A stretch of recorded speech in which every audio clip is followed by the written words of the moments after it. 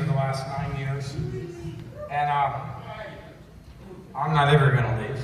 And uh, they'll have to carry me out feet first. Um, but I do have a place in the country that's uh, that I hope to hang out to. That's uh, it's uh, two miles north and some smaller mountains than the mountains that you have out here uh, in a town called Woodstock. And the cool thing about hanging out in Woodstock is my neighbors are my heroes. Uh, John Sebastian is my neighbor in Woodstock. And Happy Traum is my neighbor in Woodstock.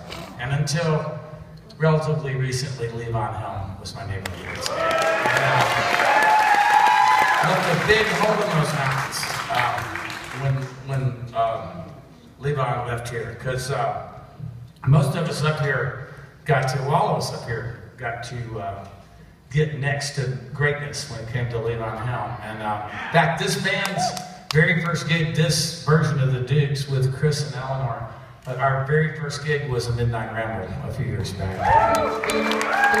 So uh, this is for Levon.